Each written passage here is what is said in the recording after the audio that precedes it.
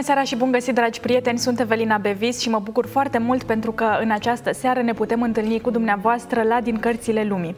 Emisiunea aceasta este una înregistrată, așadar nu vom putea interacționa în mod direct cu dumneavoastră, dar așteptăm să ne scrieți ca de fiecare dată întrebările pe care le aveți în comentariile din live-urile de pe Facebook și de pe YouTube ale paginii A7TV.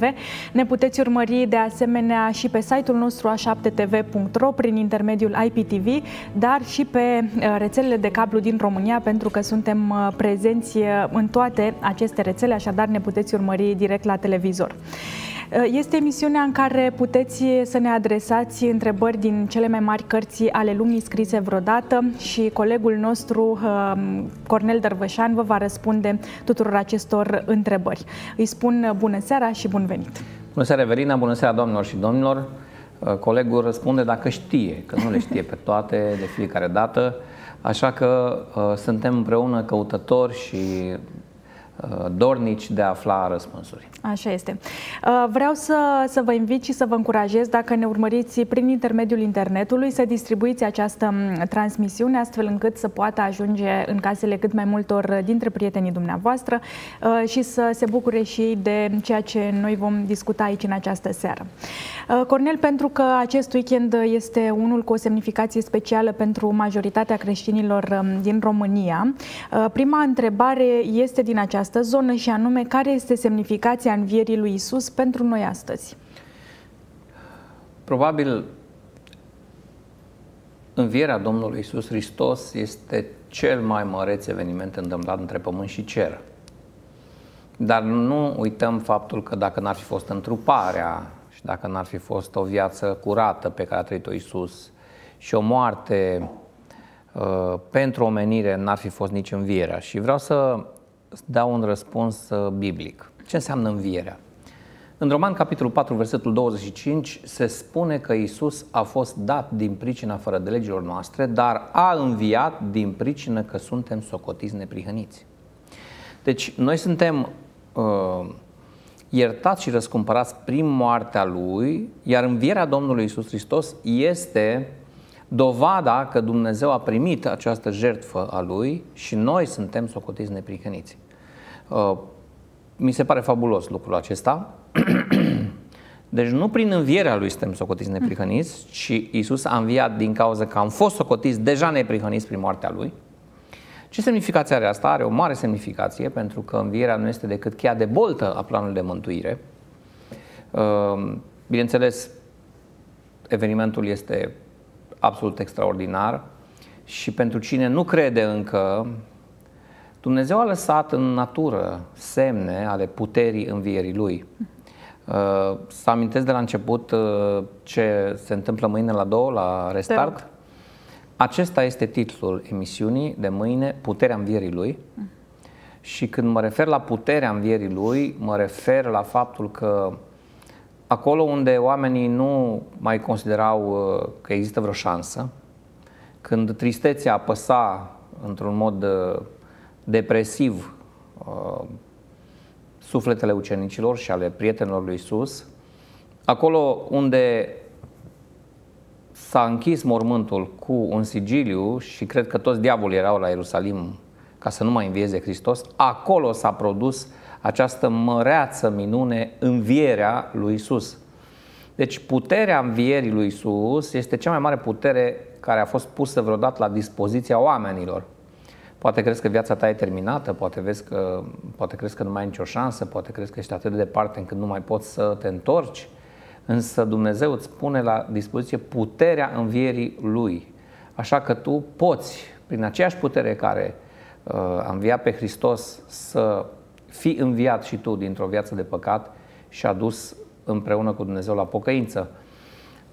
Natura păstrează dovezi ale puterii învierii lui Isus. Iată, în urmă câteva luni, nu ne gândeam la cât de frumoasă va fi natura iarăși. Parcă în fiecare an uh, învie mai frumos și mai frumos și verdeața și florile și păsările.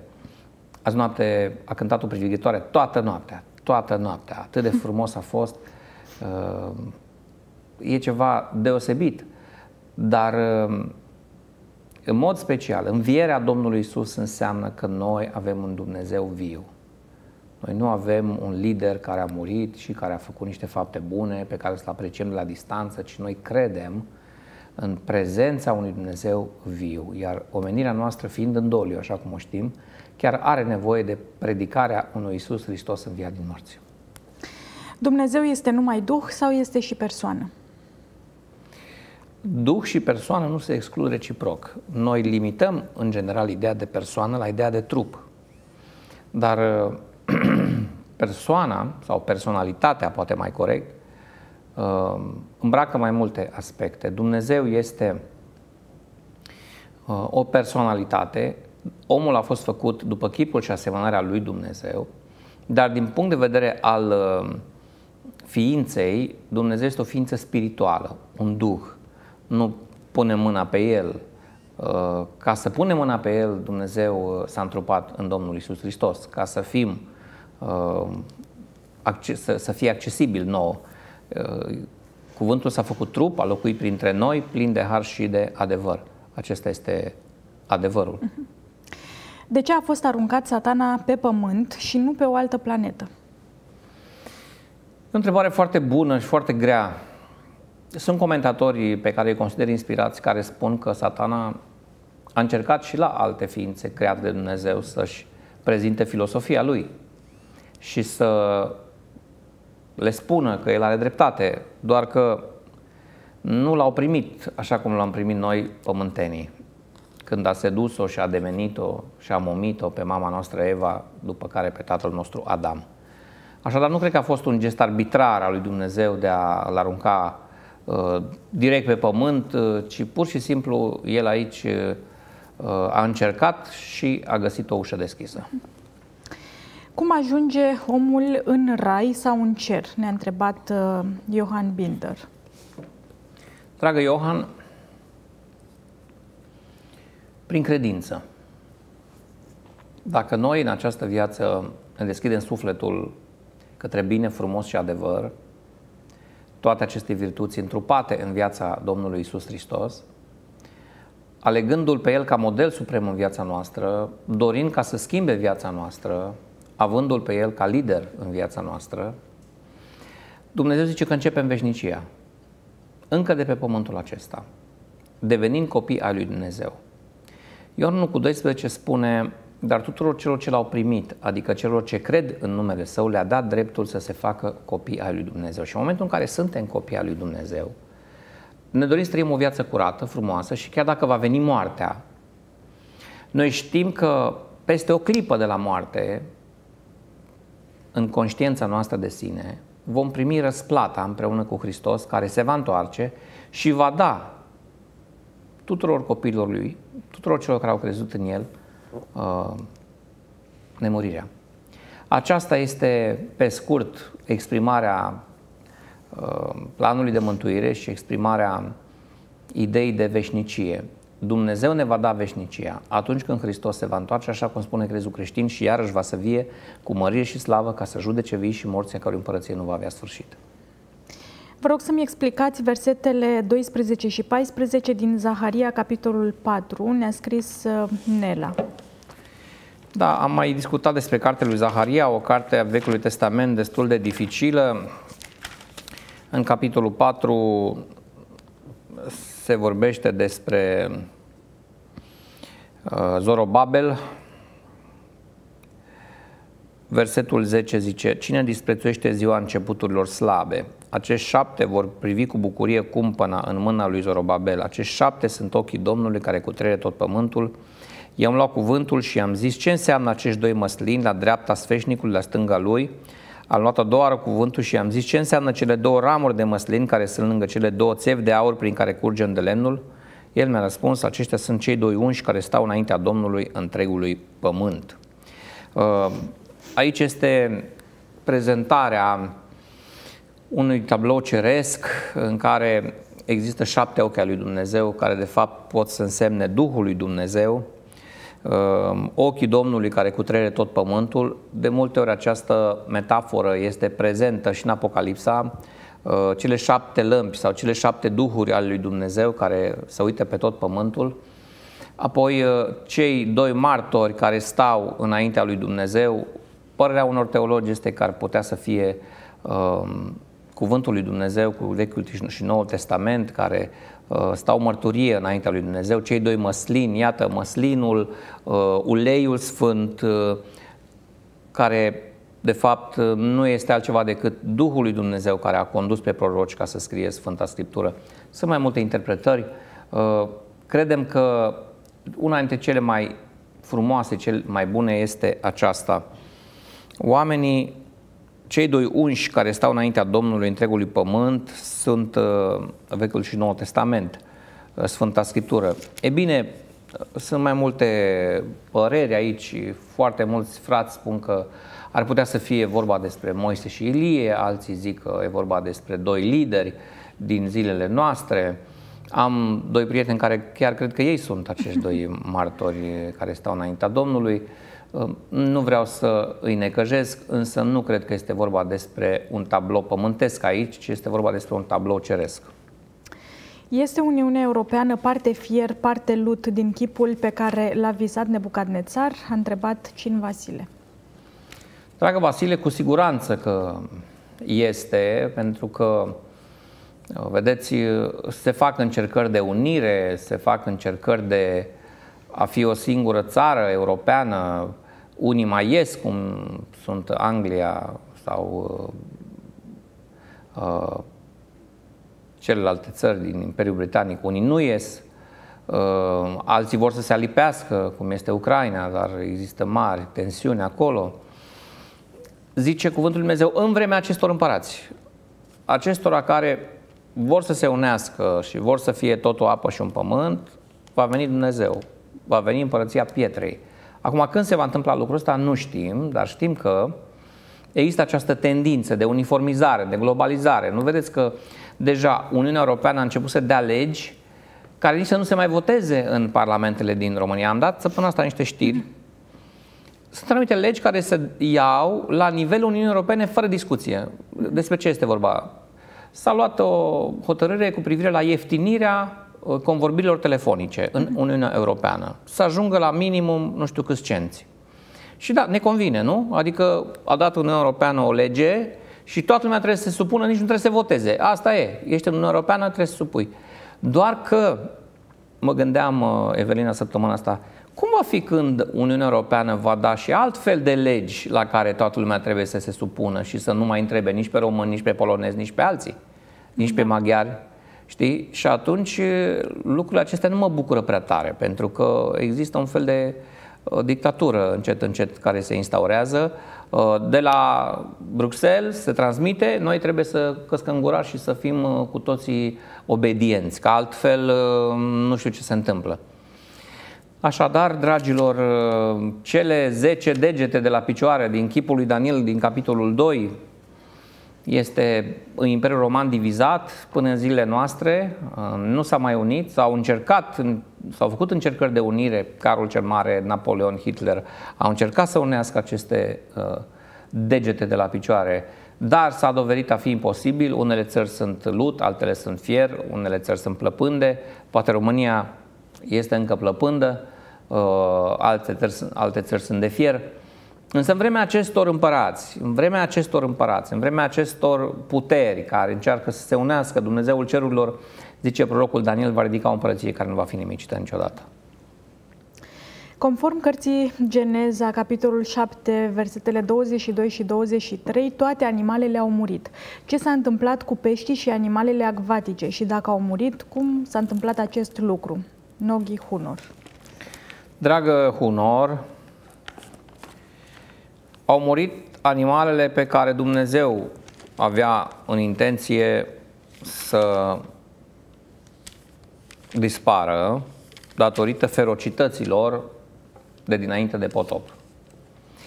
Cu siguranță că se referă textul acesta în mod special la animalele terestre. Cele acvatice, multe dintre ele nu au murit pentru că nu pot să moară în contextul acesta. Ele se simt bine în apă. Iată, versetul 21. a pierit orice făptură care se mișca pe pământ, atât păsările cât și fiarele, tot ce se târa pe pământ și toți oamenii, tot ce răsufla, tot ce avea suflare și duc de viață în nări, tot ce era pe pământ uscat a murit. Da? Uh-huh. Deci despre asta este vorba. Uh-huh. Iadul va fi pe pământ și veșnic? A întrebat Vasile. Dragă Vasile, Apocalipsa vorbește despre un iaz de foc. Apocalipsa 20, versetul um, 13.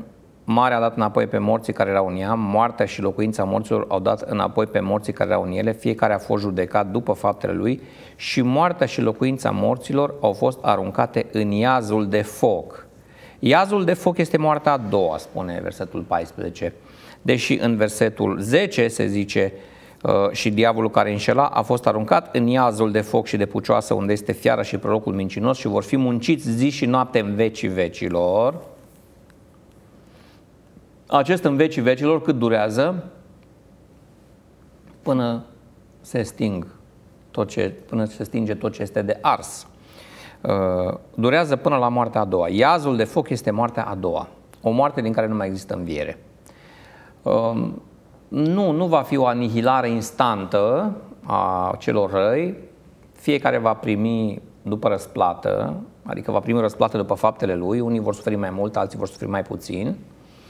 Dar, uh, până la urmă, se pare că acest iaz de foc, acest glob uh, pământesc care va fi curățit prin foc, va avea un final, pentru că în Apocalipsa 21, versetul 4, zice că va șterge orice lacrimă din ochii lor, moartea nu va mai fi, nu va mai fi nici tânguire, nici țipă, nici durere, pentru lucrurile întâi au trecut. Deci, dacă va fi un moment în istoria Universului când nu va mai fi nici țipă, nici durere, înseamnă că nici țipetele din iad nu vor mai fi și nici durerile de acolo nu vor mai fi. Vor avea un final.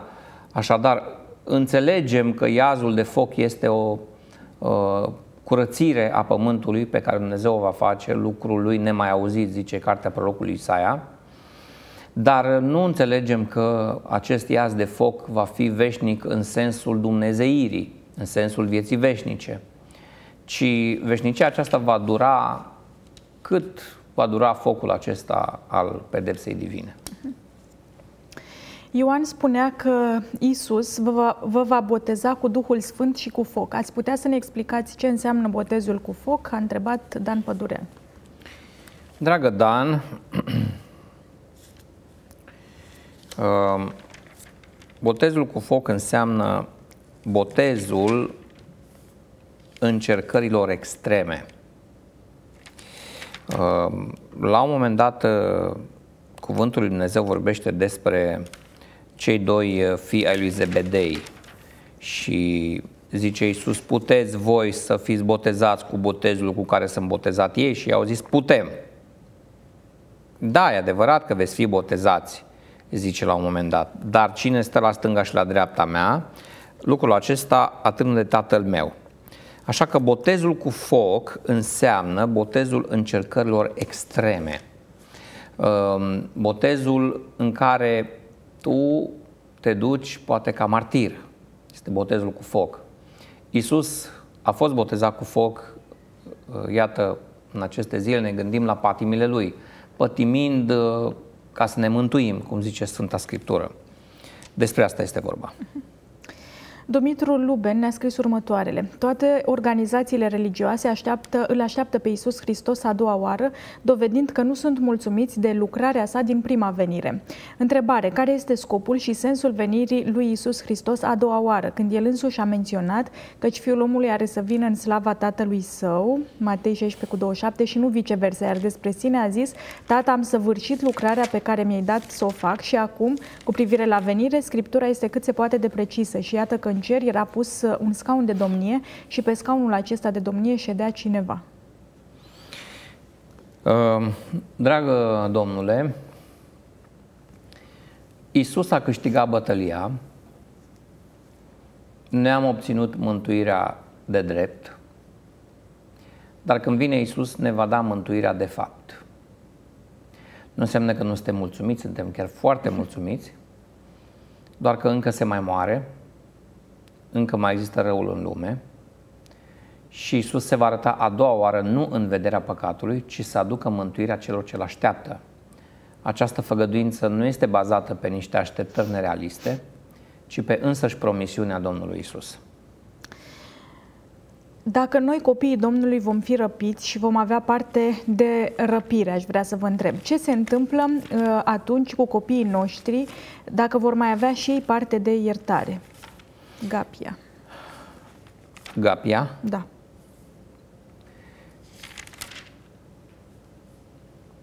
Biblia vorbește despre o răpire, doamnelor și domnilor. În 1 Tesaloniceni, capitolul 4, versetul 16, se spune căci însuși Domnul, cu un strigăt, cu trâmbița lui Dumnezeu și cu glasul unui arhanghel, se va cobori din cer și întâi vor învia cei morți în Hristos. Apoi noi cei vii, care vom fi rămas, vom fi răpiți toți împreună cu ei în nori ca să întâmpinăm pe Domnul în văzduh. Această răpire are loc la venirea Domnului Isus Hristos. Nu este o răpire secretă, după cum vă dați seama din textul biblic, cu un strigăt, cu trâmbița lui Dumnezeu, glasul unui arhanghel. Toate semințile pământului se vor boci, zice uh, Matei capitolul 24, căci cum iese fulgerul de la sărit, se vede până la apus, așa va fi și venirea Fiului Omului. O venire vizibilă, audibilă, o venire transformatoare, atât de transformatoare încât vor învia morții. Ce se întâmplă cu cei care până în acel moment nu sunt pregătiți? Nu mai există o altă șansă. Înainte să vină Domnul Hristos, El va spune aceleași cuvinte în templu pe care le-a spus și pe cruce, și anume s-a isprăvit.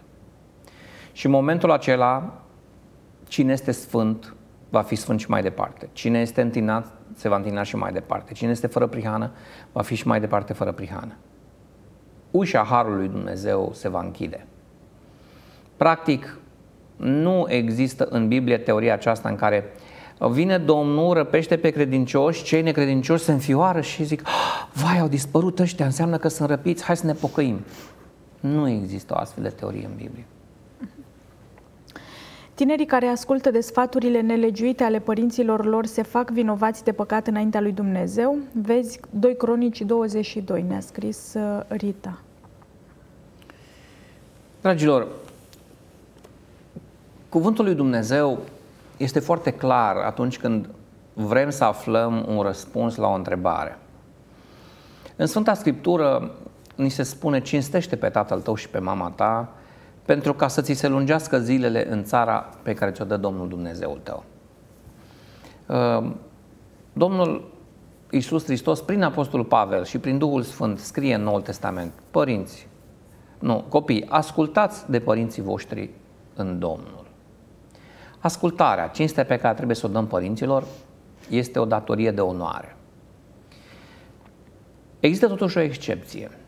Excepția este atunci când părintele îți cere ceva care ar fi împotriva cuvântului lui Dumnezeu, împotriva legii lui Dumnezeu. Sunt mai rar astfel de părinți, dar sunt.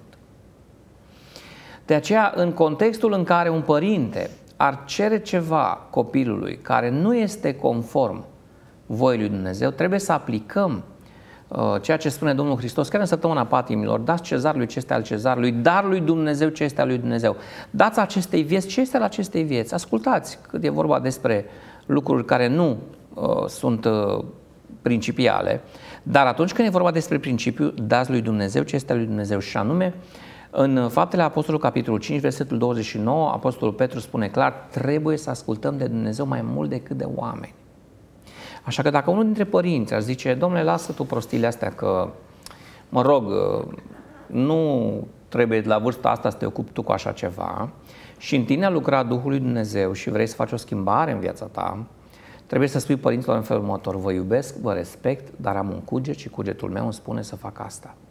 Nu trebuie să te uh, dai la ceartă cu părinții tăi, să ajungeți la conflicte interminabile. Dacă ei vor să se certe cu tine, este problema lor, dar tu trebuie să fii un om blând, un om al lui Dumnezeu.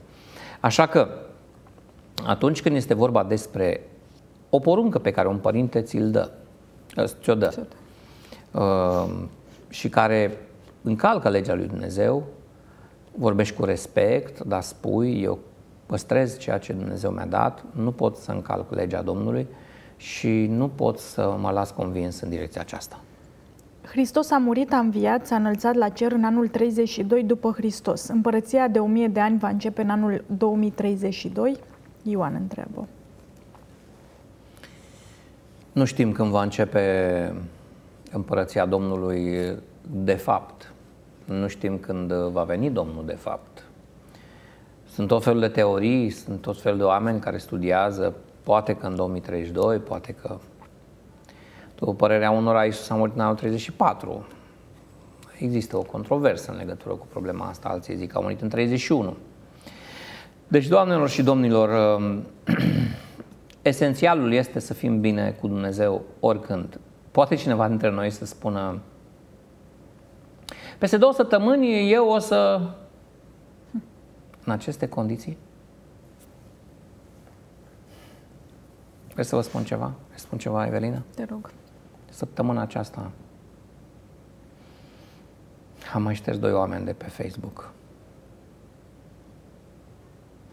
Și șterg atunci când încetează lupta cu viața.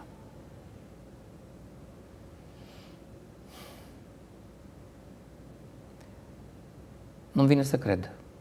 Unul dintre ei a fost invitatul meu la emisiune.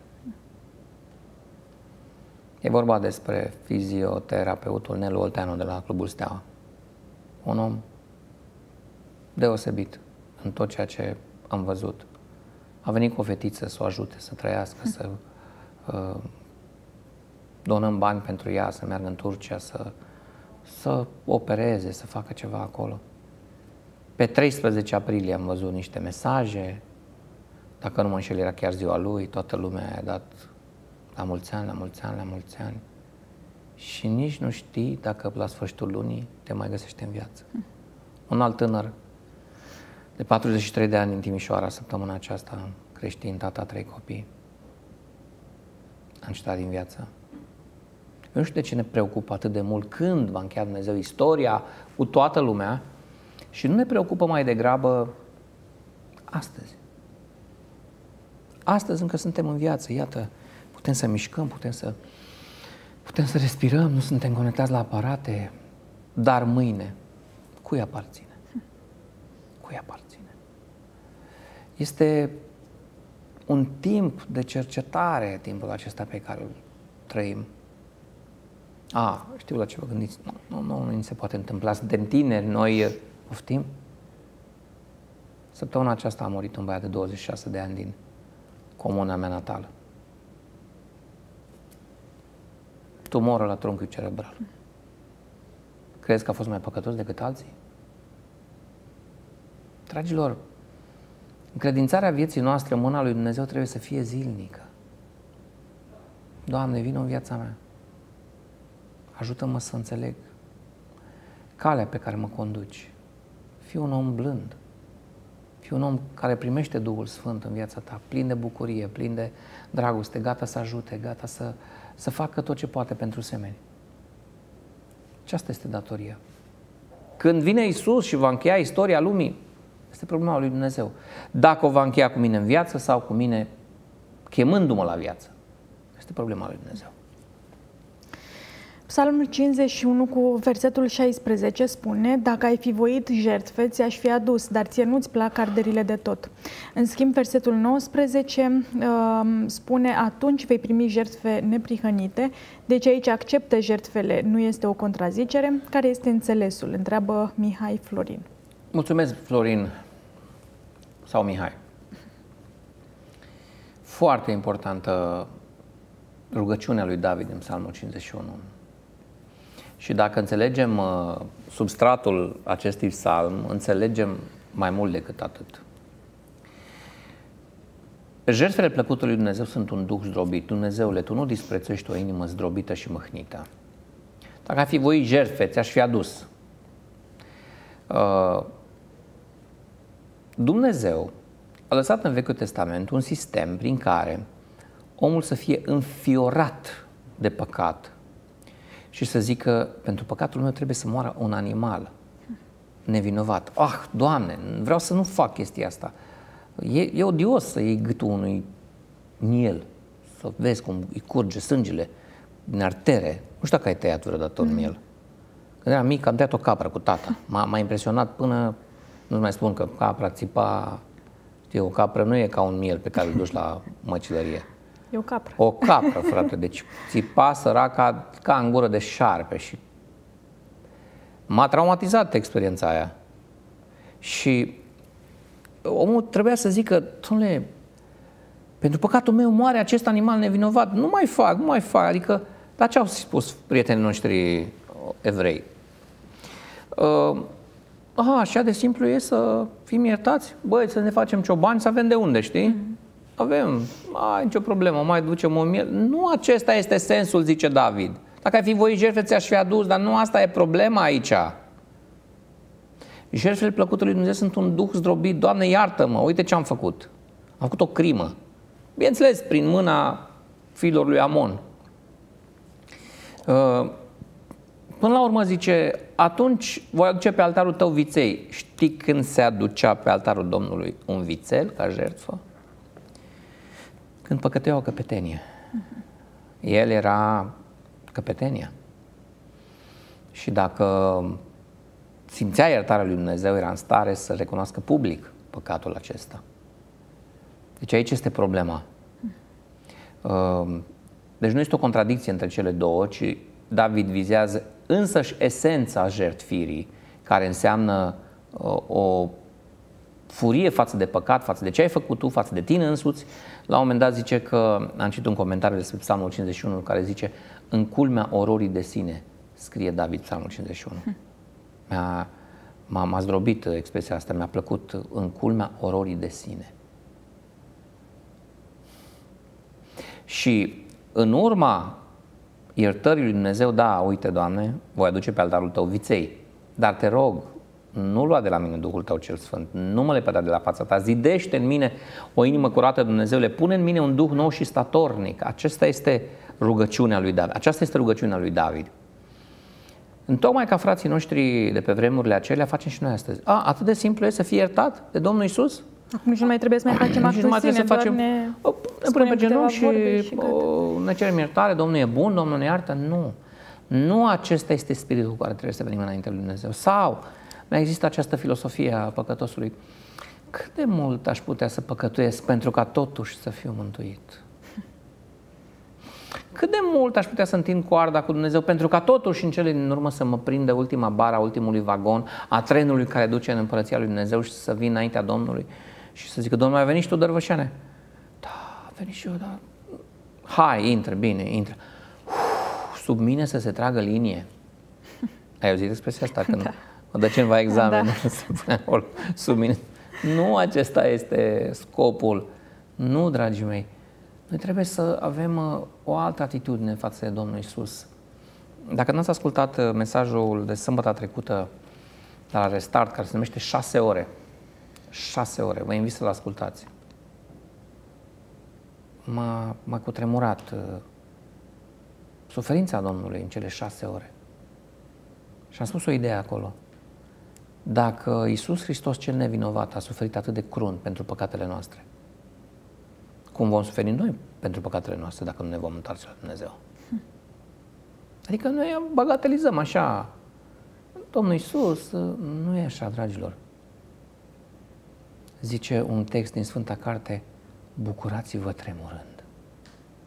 Adică trebuie să avem fiorul acesta al iertării pe care Dumnezeu ni-l dă, dar nu trebuie să-l bagatelizăm. Lasă că ne cerem mortar oricând și nicio problemă. Nu e nicio problemă, este o problemă că păcatul meu și al tău l-a țintuit pe Fiul lui Dumnezeu pe cruce. Adică umbli cu grijă în viața aceasta. Nu așa nepăsător, că oricum uh, Dumnezeu e bun. E foarte importantă atitudinea pe care o avem. Am o întrebare uh, despre care sunt întrebat des la, la rândul meu. De ce sunt atâtea religii? Menționez că știu răspunsul într-o oarecare măsură, dar vreau să fie mai detaliat. Creștinismul nu a împlinit uh, rugăciunea Domnului Isus care a zis, mă rog, Tată, ca tot să fie una. Și mă rog să fie una în noi pentru ca lumea să creadă că nu mai trimis. Creștinismul a luat-o în mai multe direcții. Noi cu toții ne dorim să ne întoarcem la acel creștinism simplu, frumos de la început al faptelor apostolilor, ci fiecare înțelegem într-un fel sau altul. Dar în esență, cred că sunt multe religii, datorită unui sau o explicație se poate găsi într-un text. Vreau să citesc textul acesta, Evelina. Iată, doamnelor și domnilor, în conversația cu Nicodim, Domnul Iisus zice așa, versetul 19, Ioan 3 cu 19. Și judecata aceasta stă în faptul că odată venită lumina lumii, oamenii au iubit mai mult întunericul decât lumina pentru că faptele lor erau rele. Oamenii au iubit mai mult întunericul decât lumina pentru că faptele lor erau rele. Unii au încercat, încercat să-și găsească justificări pentru păcatele lor și au zis, nu nicio problemă asta, nu nicio problemă cealaltă, nu nicio problemă cealaltă. Și au plecat de lângă lumina lui Dumnezeu, care încotro. O mie de ani, creștinismul a fost cât de cât unitar. Dar la 1054, patriarhul de Constantinopol l-a anatemizat pe patriarhul de Roma și invers. Au fost niște probleme. Și atunci s-a rupt biserica de apus, de cea de răsărit, o rupte până în ziua de astăzi. A urmat evul mediu întunecat în care oamenii n-au, n-au avut acces la Scriptură, superstiții, cruciade, nebunie, holeră. Nici nu. Uneori, Evelina, mulțumesc Dumnezeu că am născut în 2021, mm. în, în, în, că trăiesc că în, acest, da. în, în acest an, că am născut în 1975. N-au fost războaie civile la noi, ca în Rwanda, spre exemplu. Mm, da. N-am avut uh, războaie serioase. Iată, în vecine am avut. Am fost la Belgrad. Uh-huh. Știi că în Belgrad există vreo câteva blocuri sparte de obuze și rămase așa? Nu, nu, Le-au păstrat așa, ca să se vadă ce au făcut cei care i-au lovit, ca o mărturie a istoriei. Bineînțeles că unii ar fi vrut să repare, să nu știu ce, nu. O rămân așa, blocurile astea dezafectate, gaură în mijlocul blocului. Există în Belgrad. Da? N-am trăit astfel de lucruri. Mulțumim lui Dumnezeu că n-am trăit, uite, în, în, în zona noastră, dar unii au trăit. Unii trăiesc la limită în fiecare zi. Săptămâna aceasta am mâncat. Probabil că și tu. Da. Dar sunt copii care merg la culcare flămânzi. Am auzit o mărturie în care povestea cineva că mânca o singură dată pe zi, mămăligă cu ceva. Dacă avea un pic de zahăr, era perfect. N-am trăit în ultimii ani în imposibilitatea de a avea mai mult decât, adică să n-am decât mămăligă cu mm. zahăr sau cu ulei. N-am, n-am avut așa ceva. Deci suntem foarte privilegiați, foarte bucuroși. Dar pentru asta trebuie să, să fim recunoscători lui Dumnezeu. Așa este, da, și să nu luăm totul ca și când ni se merităm. cuvine și merităm și n-ar putea să fie altfel. Da.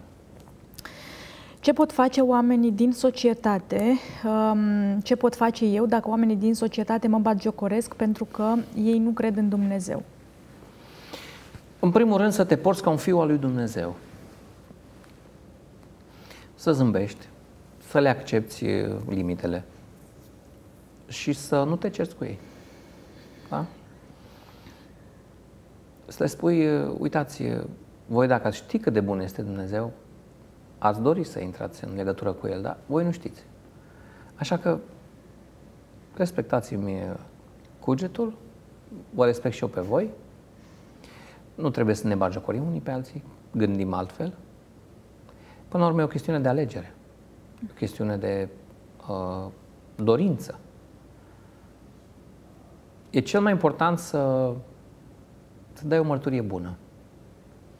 Și asta mărturie bună constă într-un cuget echilibrat, un om uh, la locul lui, un om care își face treaba cu pasiune, un om care nu bărfește pe colegi, un om care nu părăște la șeful, un om care își vede de treabă. Succes! Mă numesc Marius din București. Ce a vrut Pavel să spună când a zis că diaconul trebuie să fie bărbatul unei singure neveste? Uh, încă mai era vremea poligamiei pe alocuri și despre asta este vorba. Trebuie să aibă o singură nevastă. Uh, Pavel nu se referă aici, și asta vă pot spune toți teologii serioși, la faptul că odată un diacon a avut o soție, s-a întâmplat ceva, s-au despărțit și acum are o altă soție. Nu, el are o singură nevastă, acum. Nu are mai multe. Mă numesc Dinu Gigel, sunt din Călăraș. Am o întrebare. Dacă a căzut de la credință, dacă am căzut de la credință, de ce ar mai trebui rebotezarea? Nu înțeleg. Este un singur botez, un singur domn. Dragul nostru telespectator, e o problemă sensibilă asta. Nu cred că cineva ar trebui să impună rebotezarea altuia. Aceasta e convingerea mea. Uh, rebotezarea, pe de altă parte, este biblică pentru că avem text biblic care vorbește despre rebotezare, respectiv în fapte capitolul 19, când ucenicii lui Ioan se fac creștini cu ce botez ați fost botezați? I-a întrebat Pavel. Cu botezul lui Ioan. Și atunci Pavel a poruncit să fie botezați în numele Domnului Isus Hristos. Dar această rebotezare, cred că ar trebui să vină din cugetul lui om. Ai plecat de lângă Dumnezeu ani de zile. Nu e frumos să vrei să, să-ți reînnoiești legământul tău cu Dumnezeu? Uh, un domn credință și un botez se referă la calitatea unui Dumnezeu adevărat, a unei credințe adevărate și a unui botez adevărat. Adică un singur botez acceptat de Dumnezeu, cel prin scufundare, nu se referă la numărul de botezuri. Așa că dacă cugetul tău îți spune, începe viața cu Dumnezeu, renoiește-te, fă pasul acesta. Din păcate însă, uneori oamenii lui Dumnezeu sunt atât de intransigenți și nu primesc pe cineva dacă nu se rebotează cu forța, spiritul ăsta nu cred că este cel mai indicat. Sunt Ștefan din Hunedoara și vă rog frumos să-mi explicați versetele uh, din Matei, capitolul 15, și anume 11, 17, 18, 19 și 20. Deci Matei 15. Matei 15 este vorba despre mâncarea cu mâinile nespălate, 15. Petru la cuvântul i-a zis, deslușește-ne pilda aceasta. Iisus a zis, și voi tot fără pricepere sunteți? Nu înțelegeți că orice intră în gură merge în pântece, apoi este aruncat afară în hazna? Dar ce iese din gură vine din inimă și aceea spurcă pe om, căci din inimă ies gândurile rele, uciderile, preacurviile, curviile, furtișagurile, mărturile mincinoase, hulele, iată lucrurile care spurcă pe om. Dar a mânca cu mâinile nespălate nu spurcă pe om. Aceasta este controversa. Ucenicii Domnului au mâncat cu mâinile nespălate. Pe vremea aceea nu era coronavirus, da? Țineți minte? Așa că noi ar trebui să mâncăm cu mâinile spălate și ucenicii primiseră uh, reguli de igienă încă din Vechiul Testament, doar că aceste reguli ajunseseră la un moment dat să fie doar formale. Nu se mai spălau oamenii serios, ci doar își băgau mâinile în apă și se stergeau cu un ștergar. Și ucenicii n-au făcut această datină a bătrânilor, au mâncat fără să mai spele pe mâini și unii au început, băi, ce, face ucenic, ce fac ucenicii tăi? Mănâncă cu mâinile necurate, adică nespălate. Și Iisus le zice, nu ce intră în gură spurcă pe om, ci ce iese din gură, aceea spurcă pe om. Observați că Mântuitorul vorbește într-un context aici, se referă la mâini spălate, mâini nespălate, nu se referă la o hrană curată sau necurată. De unde știu lucrul acesta? Pentru că același Petru care a pus întrebarea, deslușește-ne pilda aceasta, în Faptele Apostolului, capitolul 10, este răpit într-o vedenie și o față de masă mare, cu tot felul de târtoare, cu dobitoace, cu patru picioare, se coboară de sus în jos și un glas îi spune, Petre, scoală-te și mănâncă. Iar Petru răspunde ceva interesant. Nici de cum, Doamne, căci niciodată n-am mâncat ceva spurcat sau necurat. Unii dintre teologi se cred mai înțeles decât Apostolul Petru. Apostolul Petru nu înțelesese din spusele Domnului Isus nu ce intră în gură spurcă pe om, ci ce iese din gură aceea spurcă pe om, faptul că poate să mănânce orice. Pentru că el, la câțiva ani, după, ani buni după, după acel eveniment, în faptele apostolilor, zice, niciodată n-am mâncat ceva spurcat sau necurat. Și Dumnezeu zice, ce a curățit Dumnezeu să nu numești spurcat. Și Petru nu știa ce să creadă despre înțelesul vedeniei. Când colo vin niște oameni la el, erau dintre cei pe care evreii numeau necurați, adică dintre romani, urmași trimi, ă, trimiși sutașului Corneliu, care îl roagă să vină cu ei, Petru merge cu ei, ajunge în casa unuia dintre neamuri și zice cuvântul lui Dumnezeu că Dumnezeu mi-a arătat să nu numesc pe niciun om spurcat sau necurat. Pe oamenii reprezenta acea față de masă cu tot felul de târătoare. Iar în fapte, capitolul 15, când Petru este tras la răspundere cu privire la ce ai făcut, ai dus la neamuri să mănânci cu ei, el a zis că Dumnezeu le-a curățit și lor inimile prin credință. Asta a curățit Dumnezeu, inimile oamenilor prin credință. Așadar, acesta este sensul uh, a ceea ce spune în uh, Matei, capitolul 15.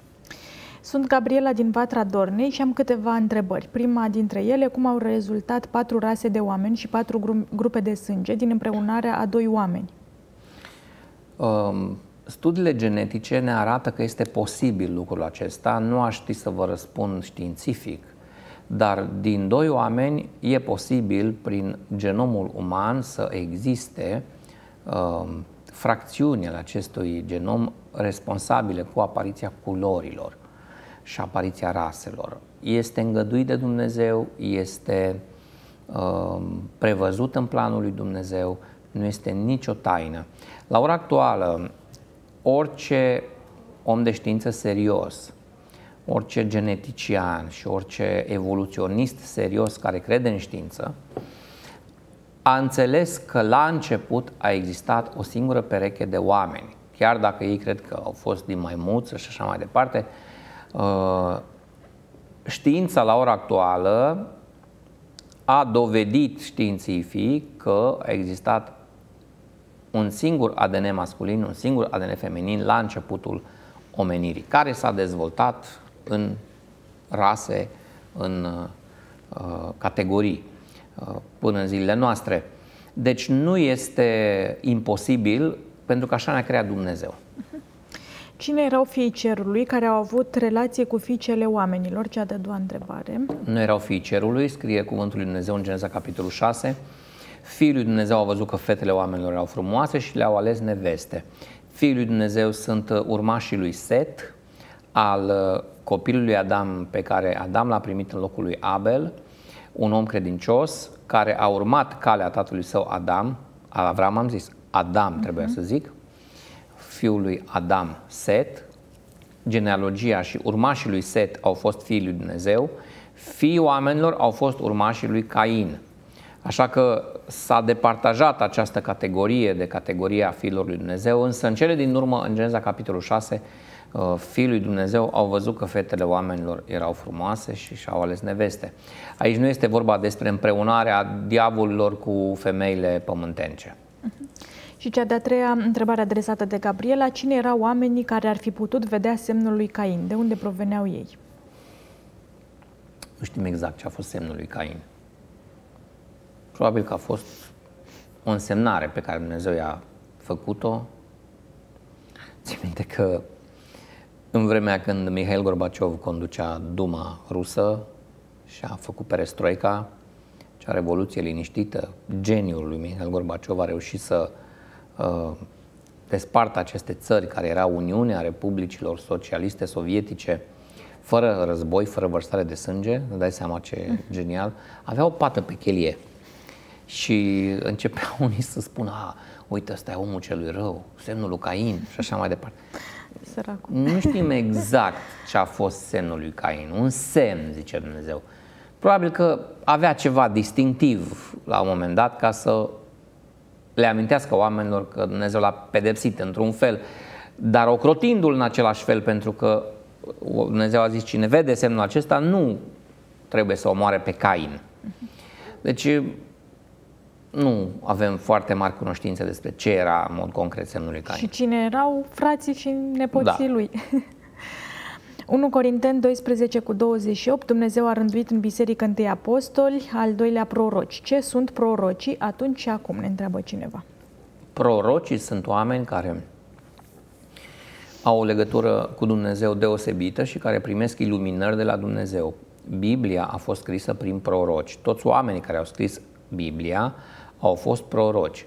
Zice a doua Petru, capitolul 1, versetul 19 și mai întâi de toate să știți că nicio prorocie din Scriptură nu se tâlcuiește singură, căci oamenii au vorbit de la Dumnezeu mânați de Duhul Sfânt. Acum, eu nu spun că acest duh al profeției sau spiritul profetic sau duhul prorociei s-a încheiat cu el și astăzi nu mai sunt proroci, însă ce vreau să spun este că uneori această chestiune se bagatelizează. Orice impresie a unui om mai inteligent, care știe și psihologie, uh, poate să îi dea alura de proroc. Uh, Evelina, uh, să știi că Domnul mi-a descoperit că astăzi sora ta pleacă din țară. Mamă, și să uite, dar cum? De fapt, eu am aflat o informație de la cineva care mi-a zis lucrul ăsta și uh, gata, o pun pe seama mhm. Domnului mm-hmm. și sunt într-un fel mistic, așa, sună interesant, nu?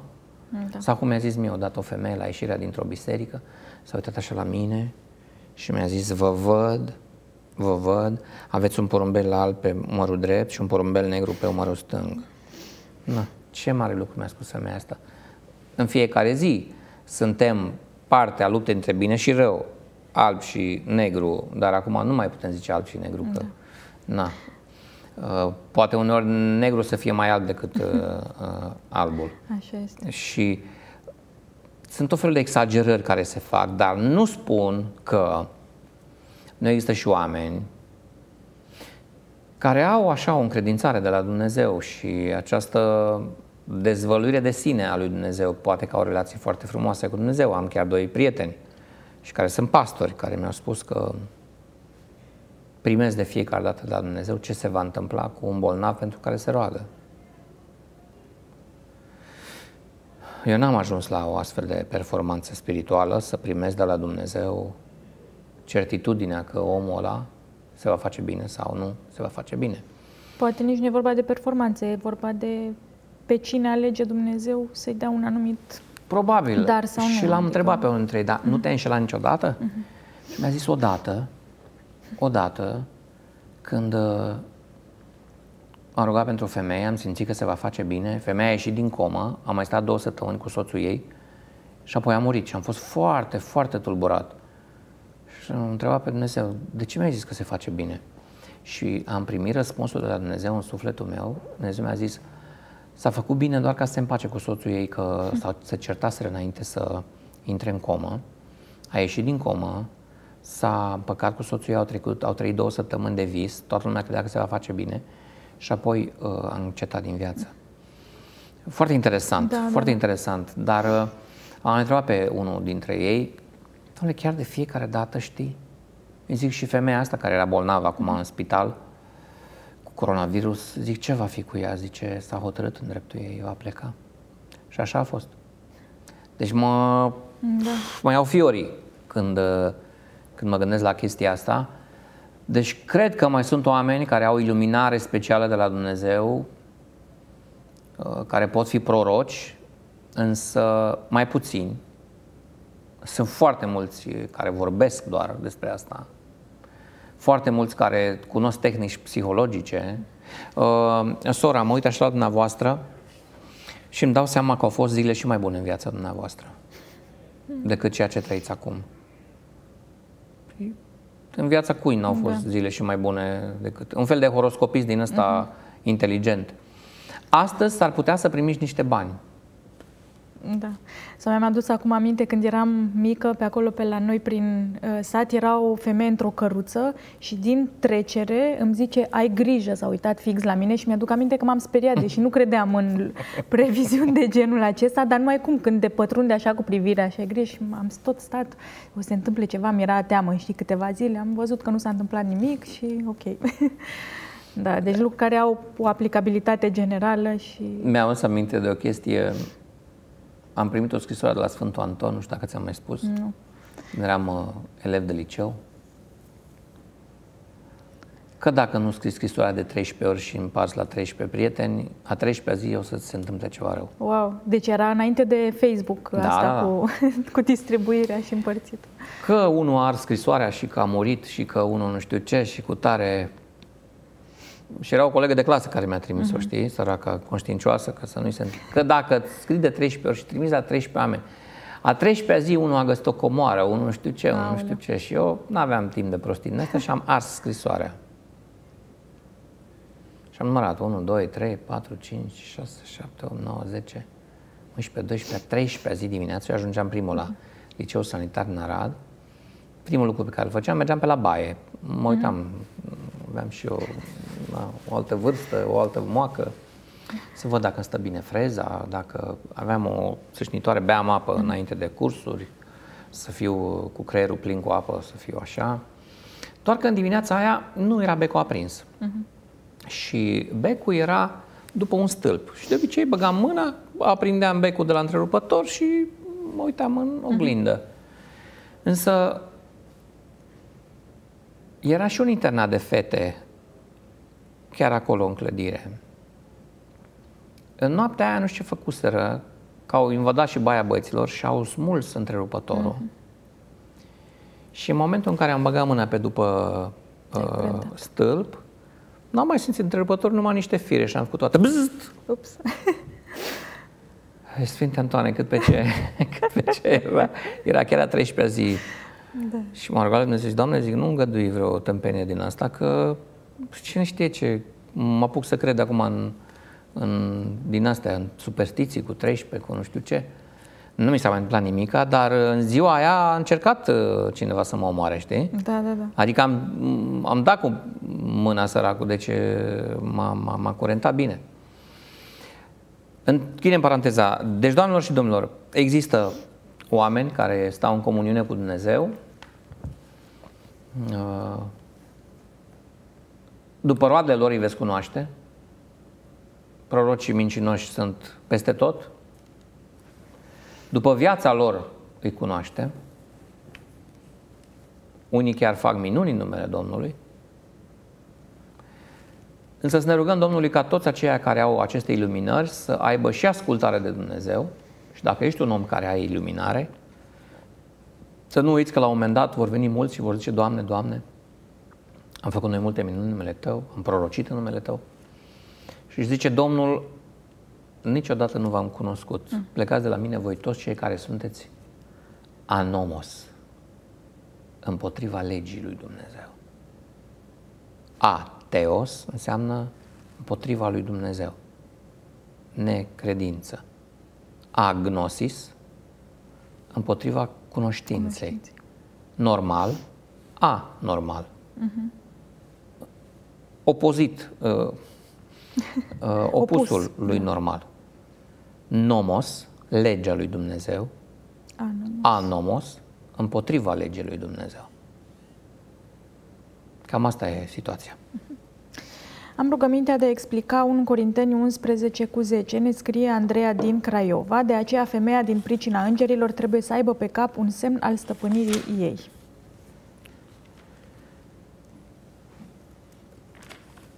Dragă Andreea, din Craiova, acest text a ruinat biserici creștine. Pentru că sunt mulți lideri care au zis uh, să aibă pe cap un semn al stăpânirii ei, înseamnă că trebuie să aibă o eșarfă de 5 cm pe cap și să rezolvă problema. Alții au citit uh, versetul 15, pe când pentru o femeie este o podabă să poarte părul lung, pentru că părul i-a fost dat ca învălitoarea capului.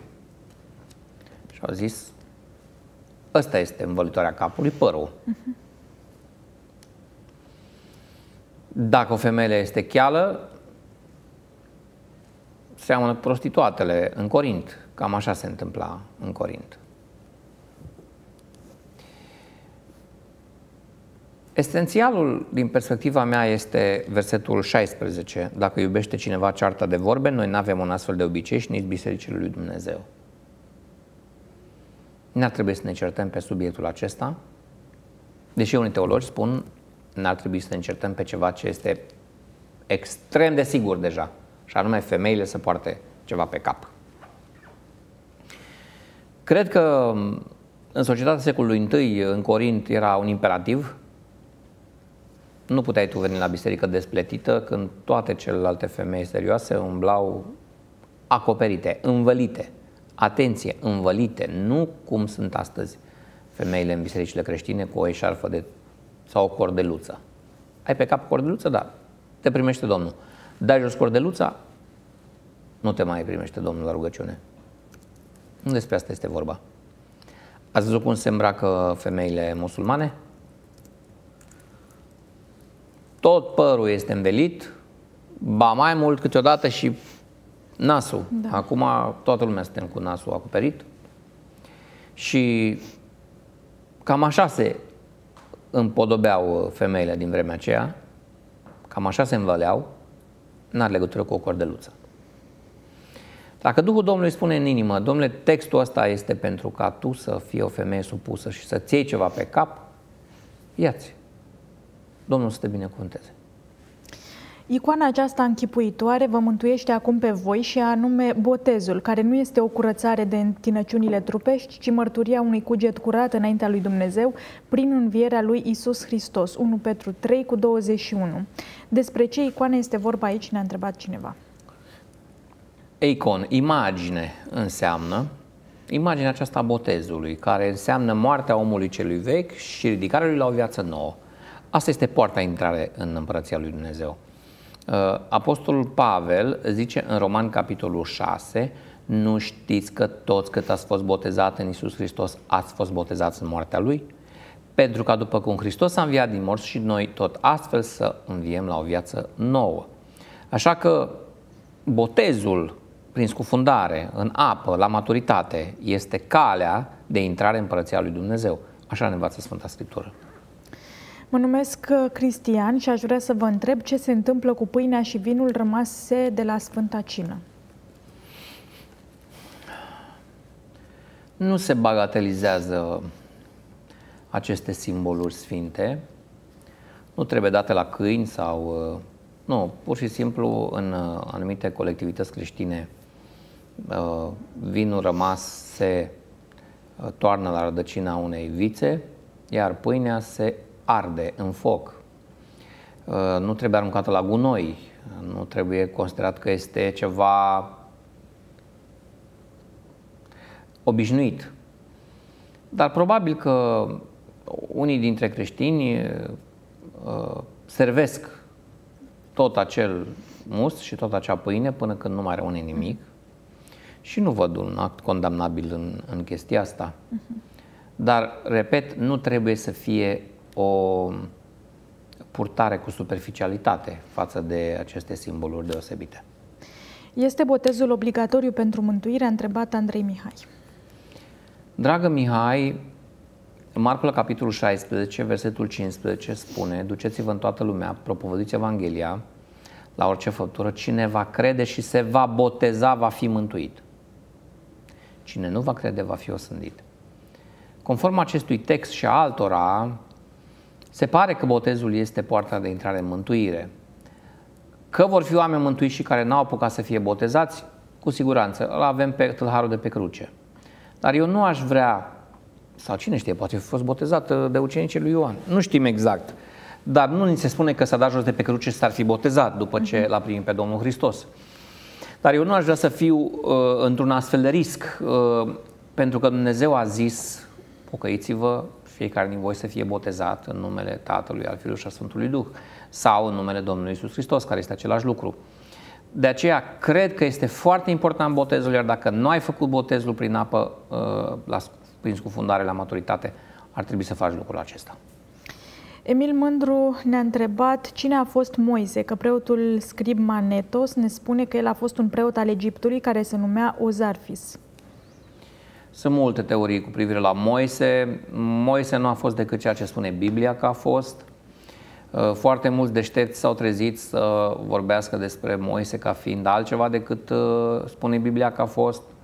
Unul dintre ei este chiar un uh, scriitor din aceeași nație, Sigmund Freud, scrie o carte Moise și monoteismul, în care povestește despre faptul că Moise de fapt n-ar fi fost evreu, ci ar fi fost venit în poporul evreu, de-aia nu știa limba, că ar fi fost un preot din altă parte, uh, tot felul de lucruri de genul ăsta, tradiții, cabala, mhm. ebraice, însă noi credem că Moise a fost un personaj uh, istoric care s-a născut într-o familie evrească, a fost crescut la curtea lui Faraon, așa cum spune Biblia, s-a întors ca să scape pe poporul său din robia egipteană. Dumnezeu a pregătit poporului său un conducător și uh, el era conducătorul politic, practic, care uh, a scos pe poporul Israel din Egipt. Ca să înțelegem foarte bine, Moise era Iohannis și uh, Aron era patriarhul Daniel. Adică să nu existe confuzii între slujbele pe care le mhm. avea Moise și Aron. Da? Cam asta e tradus la nivel uh, de actual, țara da. noastră, uh-huh. actual. Copiii care s-au botezat și păcătuiesc, deși botezați, um, sunt iertați prin faptele bune, ca să nu fie judecați precum neamurile. Este biblic acest lucru? Întreabă Cristina Viziru. Copiii care s-au botezat și care păcătuiesc pot fi iertați în același mod în care sunt toți oamenii iertați, și anume dacă ne mărturisim păcatele, El este credincios și drept ca să ne ierte păcatele și să ne curățească de orice nelegiuire. Ideea aceasta ca să facem fapte bune ca să ne ierte Dumnezeu nu este o idee biblică. Noi nu vom putea face atâtea fapte bune încât să ne ierte Dumnezeu relele pe care le-am făcut. Nu există legea compensației. Ai făcut mai multe fapte bune, a, te iartă Dumnezeu. Nu există aici. Indiferent câte fapte bune am face, noi nu ne-am calificat pentru cer. Ehm, dar există șanse și pentru copiii noștri care s-au botezat și care încă își mai dau cu stângul în dreptul datorită lipsei de maturitate, lipsei de vigilență, lipsei de veghere. Și anume, atunci când un om a păcătuit, avem la Tatăl un mijlocitor pe Iisus Hristos, Fiul lui Dumnezeu.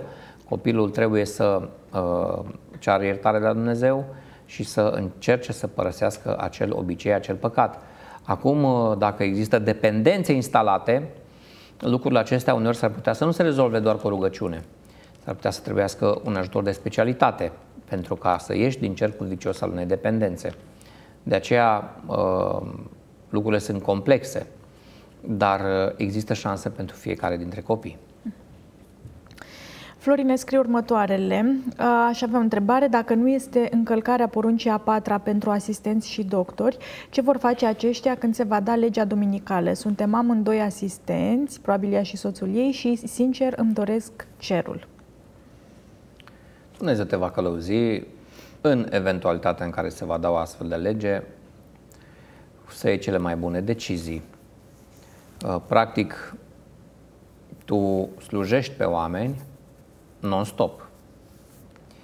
Practic, tu te închini lui Dumnezeu în ziua pe care El a lăsat-o de închinare, chiar dacă uneori trebuie să te duci să salvezi oameni din moarte. Dar ziua ta de închinare rămâne ziua pe care Dumnezeu a dat-o. Uh, dincolo de asta, cum îți manifesti tu personal Uh, respectul este problema ta.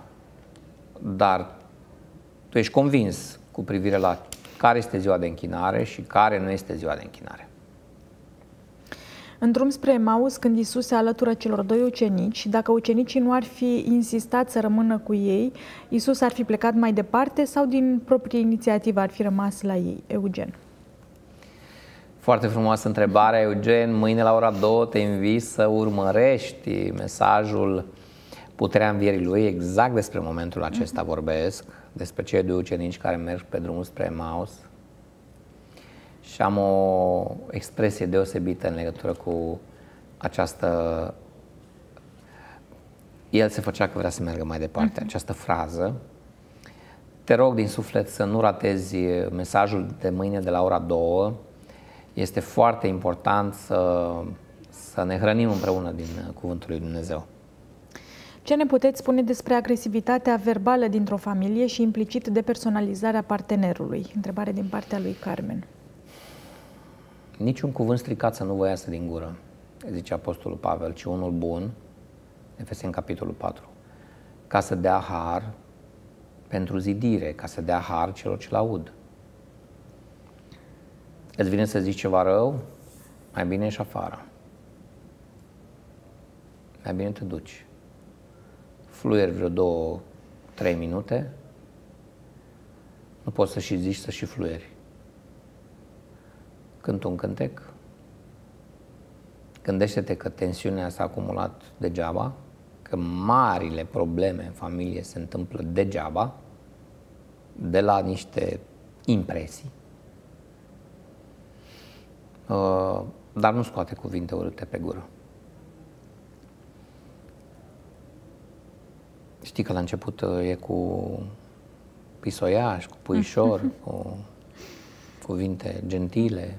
Și după aia cresc animalele. După aia cresc animalele. Nu lăsa să crească animalele. Nu spune niciun cuvânt pe care l-ai regreta.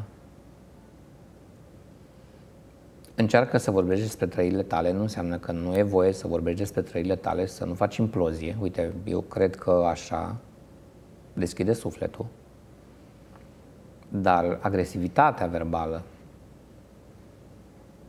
nu are ce căuta. Mai avem timp? Da, mai avem uh, 10 minute și un pic. Am fost toată într-o biserică. și era o biserică celebră în România și o zonă celebră și ne-am dus să mâncăm niște lubenițe. Eram cu grupul Entuziasmus, un grup uh, muzical cu băieții, mergem acolo, zic, și mâncăm. Gata, ne-am dus zi și făcut, ne-au primit oamenii, vai, vine grupul de băieți, am cântat.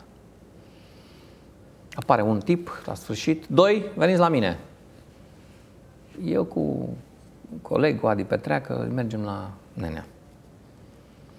Nenea o Dacie nouă, prin aia cu cinci locuri și cu uh, și cu, por- și cu furgonetă, deci mm-hmm. și cinci locuri și mm-hmm. prelungire. Scumpă, rău. Deci omul avea substanță, știi? Am dus. Dar zic, este singur? Nu, zice, nevastă mea deja e acasă. Am comentat noi. Am ajuns acasă, a apărut și soția omului, spășită. Omul zice, uitați-vă la ea, uitați-vă la ea. Noi amândoi să stăteam acolo, ne uitam. Vă place? nu o să ne placă. Ce să, ce să ne placă? S-a tuns. Oh. I-am spus, până nu-i crește părul, nu mai merge cu mine pe stradă. Wow. Ah, despre asta e vorba, nu știam noi care e treaba, știi? Acum vii și pune de mâncare, îi zice. Uh-huh. Săraca femeie, repede, s-a dus, s-a uh, pus de mâncare. Felul 1, ciorbă. Ne-a pus felul 1, ciorbă. Taie pâine. Așa, scurt. Uh-huh. Tăia femeia pâine, să intre în grații, să intre în... Așa. Uh, mâncăm noi felul 1, nu. Mai mâncați.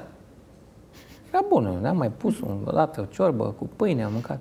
Mai puneți mai putem, așteptam și noi. Felul 2. Zice, domnule, nu mai avem nimica.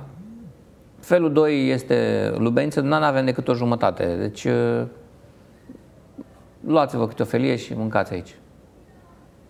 Ți-am spus să cumperi tu și n-ai cumpărat. Deci a zăpăcit-o pe săraca femeie toată ora cât am stat acolo, de mi-era mie rușine de ea, săraca. Nu știa cum să-și țină capul jos și așa mai departe. Am plecat după amiază, amândoi spășiți la aceeași biserică, ne-am odihnit un pic, ne-am dus, ne-am odihnit. Nu știam să râdem, să plângem, deci era așa o da. situație da. ăsta, cu gura pe ea, cu violent, Hai de mine. Am ajuns după amiază, băieții frustrați toți. Ce mă sunteți supărați? Și n-am mâncat mă niciunul lubeniță. Noi de-aia mersesem da. acolo. O, zi, noi am mâncat, eram amântemi și mai privilegiați. Mă rog, a trecut situația, trec 10 ani de la acest moment. Uh-huh. 10 ani. Dintr-o întâmplare, ajung iar în biserica respectivă uh-huh. și tot mă uit să-l văd pe individ. Că am o memorie vizuală îngrozitoare Uh, mă uit să-l văd, nu era. Băi, zic, am fost în urmă cu 10 ani la cineva la masă, dar zic, nu e aici, nu e aici. Și ce, ce te-a marcat așa, zice unul, că... Și zic, bă, o cam flituia pe doamna, zic, îi vorbea urât, îi vorbea cu tare, bă, ăștia curioși, cine era, cine era, cine era, cine era? Erau vreo 10 bărbați acolo în, în camera în care trebuia să urcăm, să mergem la Amvon. Cine era? Nu e aici, zic. Nu e că l-aș cunoaște, zic, dintr-o mie l-aș cunoaște. Ce să vă zic? Dragi prieteni și Evelina, deschidem ușa să plecăm la Amvonul bisericii, să ținem acolo slujba și pe drum, pe drum, de la poarta, de la ușa bisericii apare un individ uh, rapid, mă prinde de mână așa în timp ce eram într-o formație de plecare. Am, Frate Cornel, la mine ați fost în urmă cu 10 ani. Doamne, deci ăștia care erau da. uh, pe drum spre Amvon au început să bufunească în râs. Uh, toți mergeam, deci râdeam și mergeam, deci așa ceva n-am pățit în viața mea, că na, când te duci să începi o slujbă, de obicei te duci mai spășit așa, nu te apuci să râzi da. în gura mare acolo. Uh, Ăla săracul se dăduse de gol că el fusese ăla care uh, și-am plecat și deci nu avea tot să fac rugăciunea. Deci nu, ăștia toți erau terminați, râdeau într-o veselie. Și uh, uite la ce se ajunge, știi? Da. Că ești violent, până la urmă te scoate Dumnezeu, îți arată Dumnezeu că nu e bine ce faci, știi? Ani de zile te urmărește chestia asta. Uh, doamnelor, dacă aveți un astfel de comportament din partea lor, a domnilor. Ehm, nu vă lăsați călcate în picioare, vorbiți despre problema asta, spuneți ce simte în minte, trăiți. Uite, tu când vorbești așa, eu mă simt inutilă, mă simt foarte rău. Nu aș vrea să mergem în direcția aceasta cu familia noastră. Cu, cu... Ce? Taci din gură, ești muiere, taci la locul tău. Nu se procedează așa, iar dacă individul nu se liniștește, și nu poți să ai uh, înțelegere pentru că ai neglijat și te-ai lăsat abuzat ani de zile, e momentul să spui și altora, și anume să spui familiei, uitați uh, uh, părinților lui sau uh, fraților, uitați ce se întâmplă, fă un consiliu de familie. Eu nu vreau să mai fiu tratat în felul ăsta pentru că mă tem de el, efectiv, ajuns să mă tem de cel pe care l-am iubit și care a fost tatăl copiilor mei. Dar se întâmplă și invers, să știi. Uh-huh. Și femeile câteodată Absolut. îi iau cu buldezerul pe uh, mutulici, că ăștia sunt mai mutulici așa, ei tai lemne pe ei, nu zic nimic și ea se impune și se urcă în capul lui și nu există așa ceva. Aduceți-vă aminte, doamnelor și domnilor, de aceste cuvinte pe care Apostolul Pavel le spune și care sunt absolut geniale. Niciun cuvânt stricat să nu vă iasă din gură, ci unul bun pentru zidire. Domnule, vrei să zici ceva de zidire? Da, zil. E de dărâmare? Nu-l mai zi. Nu-l mai zi. Mă numesc Irinel, am 11 ani și voiam să vă întreb dacă nu cred în Dumnezeu, ajung în iad? Dragă Irinel, în primul rând îți mulțumim că te uiți la emisiunea noastră. Ca să crezi sau ca să nu crezi, dragă Irinel, îți trebuie un pic de citire, adică să te preocupi de acest subiect. Uh, uite ce recomandare am pentru tine. După emisiunea noastră din seara asta sau în timpul emisiunii, spune așa, Doamne, dacă existi, te rog frumos, descoperă-mi și mie. Și spune cu sinceritate lucrul acesta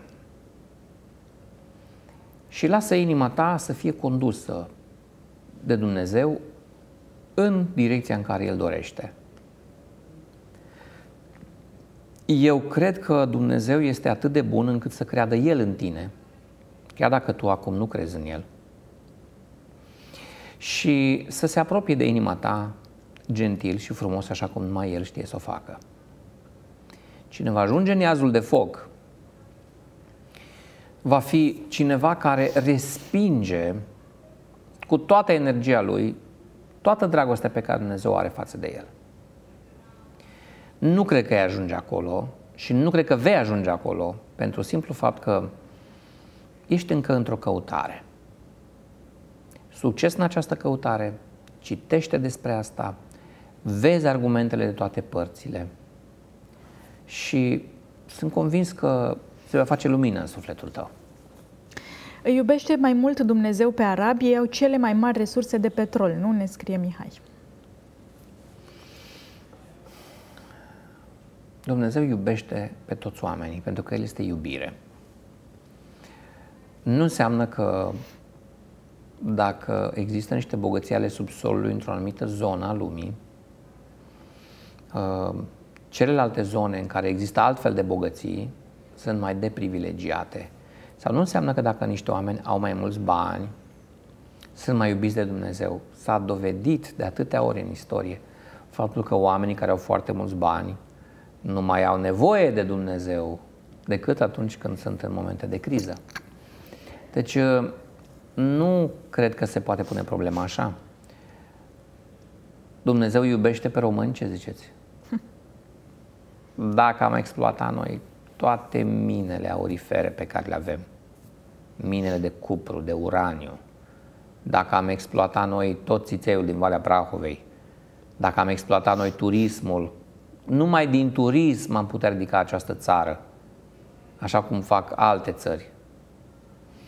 Așa că nu cred că se pune problema așa. Problema se pune cât de mult suntem noi în stare să răspundem dragostei lui Dumnezeu.